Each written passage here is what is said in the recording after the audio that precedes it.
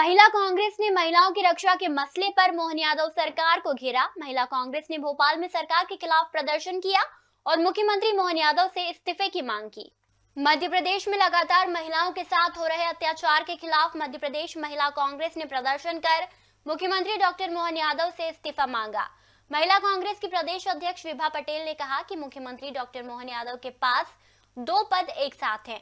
मुख्यमंत्री गृह मंत्रालय को संभाल नहीं पा रहे हैं।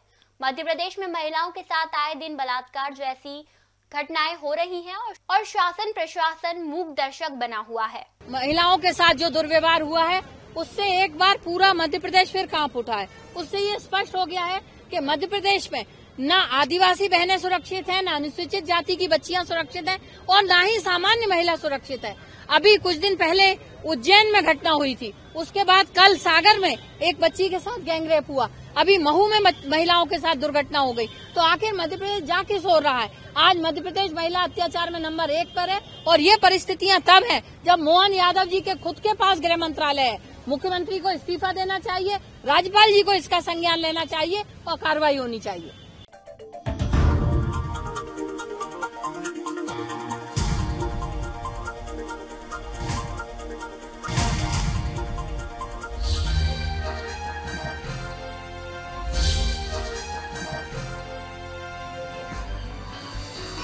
आप देख रहे हैं दखल न्यूज़।